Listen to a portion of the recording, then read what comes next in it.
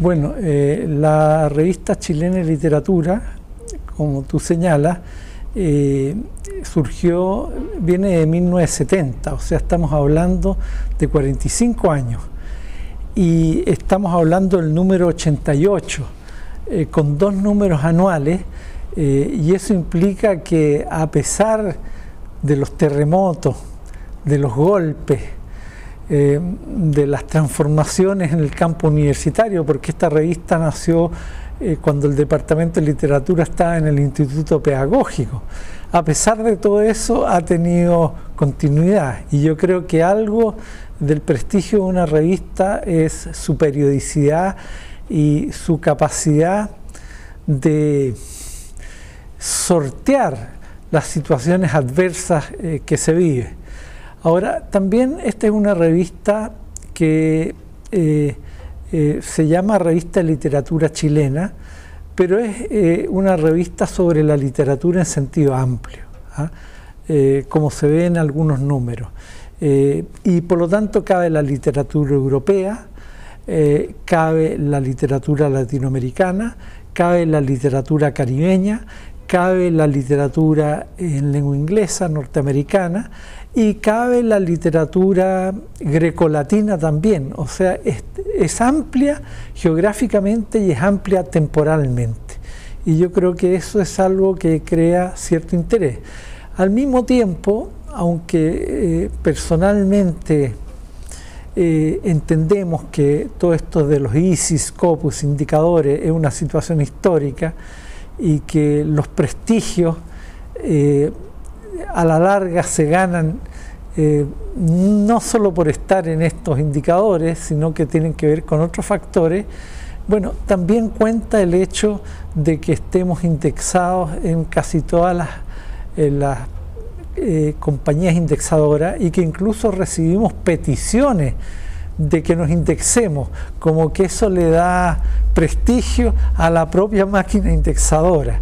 Entonces yo creo que eso también tiene que ver con el, con el prestigio y con la presencia internacional de la revista. Y al mismo tiempo tiene que ver con una situación un poco perversa, que es que hay algunas universidades chilenas, privadas, están pagando hasta 4 mil dólares por publicar en una revista ICI. Y eso significa que nos llegan una cantidad enorme de trabajo eh, y que, bueno, eh, tiene que ver con el asunto de, estar indexada la revista. Pero nosotros pensamos que esa es una situación histórica pasajera ¿ah? y que los prestigios son históricos y se ganan en largo tiempo. Y, y esto de estar indexado, bueno, yo digo que es como la tarjeta de crédito uno la tiene que usar, pero, pero tiene una perspectiva crítica de lo que significan las tarjetas de crédito. Y así también nosotros tenemos una perspectiva crítica de lo que significa toda esta situación de las indexaciones, pero las usamos. José Mujica decía que había que servirse el capitalismo. Nosotros desde hace algún tiempo, con mucho esfuerzo, porque estas revistas sacaban normalmente dos números al año, pero con mucho esfuerzo desde hace un tiempo estamos sacando tres números al año. Y estamos sacando números monográficos eh, porque de alguna manera los números normales eran números misceláneos. Como abarcamos tantos temas, podría aparecer algo sobre la tragedia grecolatina, sobre Cortázar y sobre Neruda. ¿Ah? Entonces, eh, de alguna manera los números monográficos nos focalizan y nos permiten hacer un aporte mayor a la reflexión y a la disciplina. Y desde el, número 84 que sacamos, bueno, antes habíamos sacado un número eh, semi-monográfico sobre Neruda, ¿ah? el número 84 que eh, es eh, sobre las humanidades, hacemos una mirada y ponemos sobre la mesa la situación en que están las humanidades hoy día, de alguna manera sometidas a valoraciones tecnocráticas, por ejemplo, eh, en este tipo de revistas académicas el ensayo no es bienvenido y no se lo considera por eh, ni tampoco la creación, o sea, Andrés Bello no podría haber escrito aquí. ¿ah?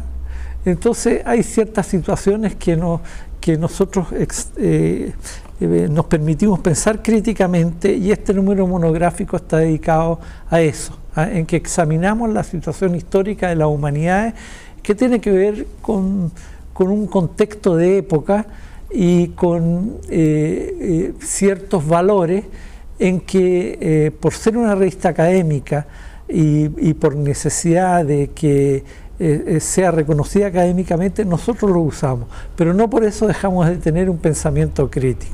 O sea, lo mismo que con la tarjeta de crédito, la usamos, pero sabemos lo que está detrás. ¿ah? Y, no somos inocentes ni ingenuos. Y eso es lo que quisimos decir con este número. Después hicimos un número monográfico también eh, ese mismo año, el número 85, sobre la literatura colonial. ¿ah?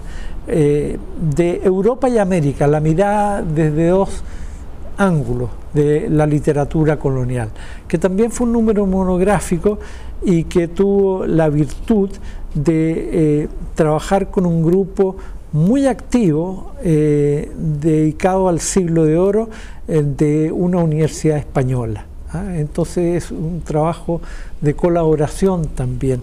Eh, pero es un número monográfico que de alguna manera se convierte en un referente.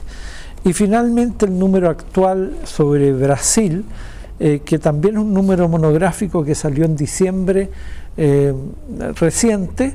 Y bueno, para este año también tenemos dos números monográficos. Uno sobre el neobarroco y el barroco, que está por salir, eh, que tiene que ver más bien con los barrocos fronterizos, con el, con el barroco en países como Chile, pero que trata desde una perspectiva muy amplia, por ejemplo, el barroco en el cine de Raúl Ruiz o el neobarroco en el cine de Raúl Ruiz. Entonces, de alguna manera se sitúa en las fronteras de, eh, lleva el barroco al, al momento contemporáneo. ¿Ah? algunos poetas, algunos autores y algunos cineastas, y también tratamos el barroco en las artes visuales o el neobarroco. Entonces ese es un número que está listo y para diciembre tenemos convocado un número eh, monográfico de nuevo eh, sobre Nicanor Parra. Pero de repente los homenajes son como el abrazo del oso ahogan mucho. Entonces, en, el, centenario de Nicanor Parra pasaron muchas cosas. Se farandulizó, eh, eh, eh, hubieron demasiados homenajes y poca evaluación crítica. Y este número que estamos pensando nosotros es un número a los 101 años, pero no es solamente homenaje, sino que es de evaluación crítica. Entonces, toda esa, todas esas perspectivas distintas, estos números monográficos, la indexación, eh, el hecho que nosotros trabajamos con las agencias licitadoras de artículos del mundo académico euro-norteamericano, todo eso yo creo que contribuye al prestigio de la revista y también, ¿por qué no decirlo?, a que nos lleguen algunos dólares.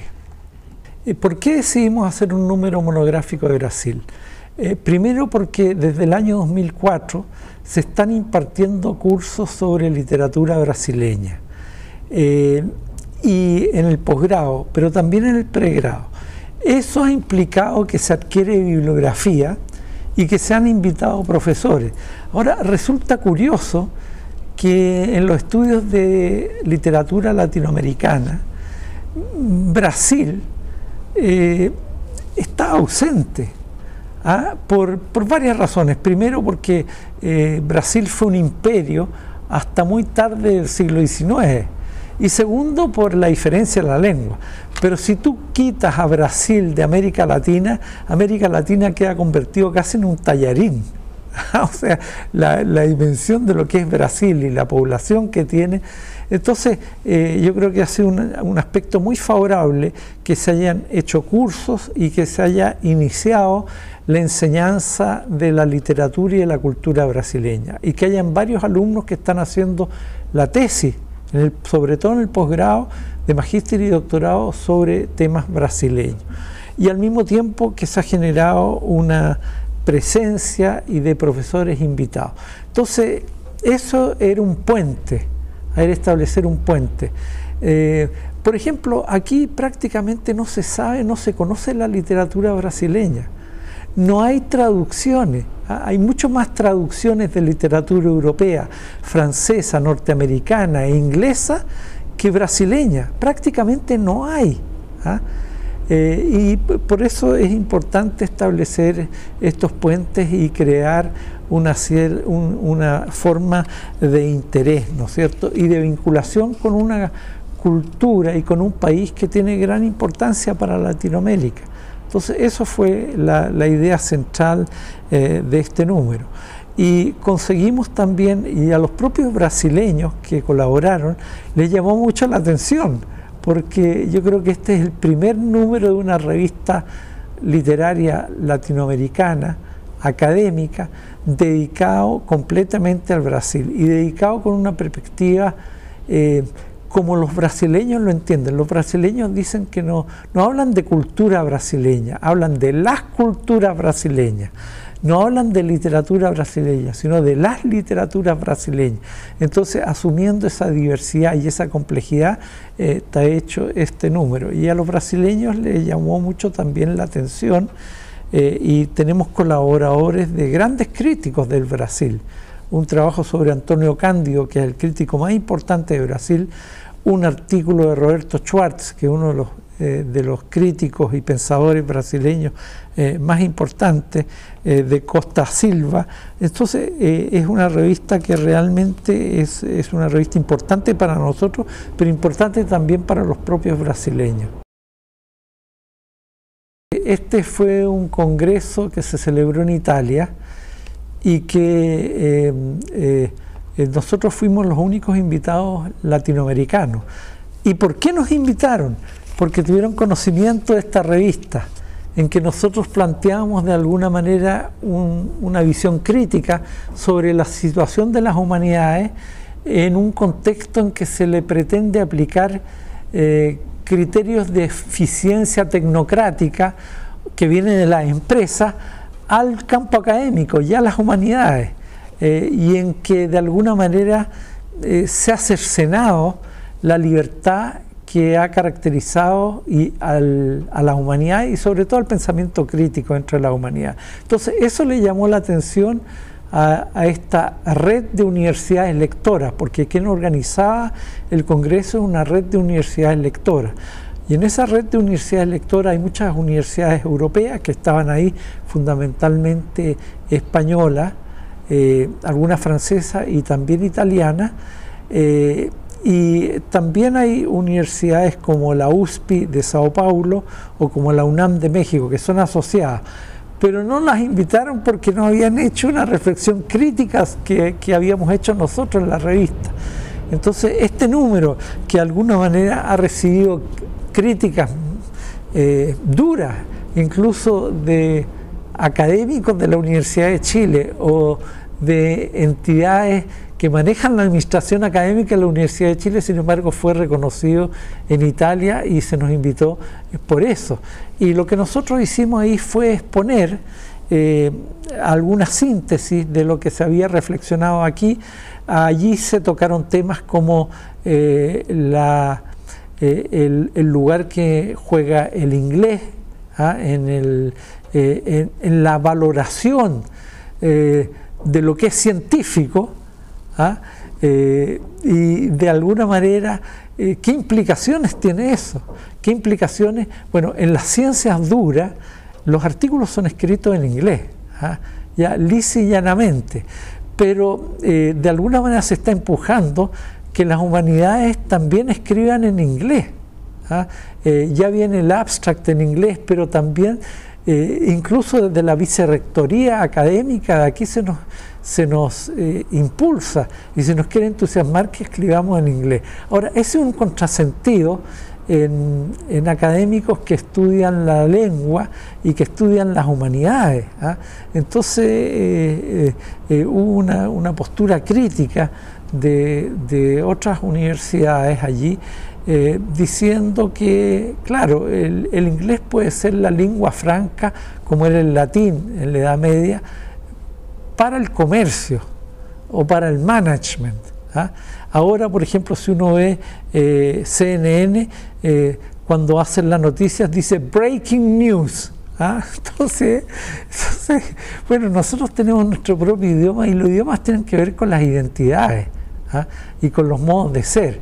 Y yo creo que esa es una defensa que también tenemos que hacer desde las humanidades. Y por otro lado, es algo que nos vincula con el resto de América Latina y con España. Y esto incluso va más allá. Eh, las culturas originarias también tienen derecho a defender su idioma. O sea, ahí está la identidad, está la tradición, está la memoria histórica. Entonces yo creo que hay una preocupación internacional eh, por este tema y por de alguna manera crear pensamiento crítico eh, sobre este, este llevar a las humanidades o a disciplinas que tienen que ver con las humanidades como la filosofía, la literatura, eh, los estudios regionales, los estudios culturales, de llevarlo a, parámetros eh, de las ciencias duras por una parte y por otra parte de, utilizar el inglés como lengua franca. Ah, y yo creo que eso es algo que nosotros tenemos que tener, una actitud crítica y de hecho lo hemos tenido.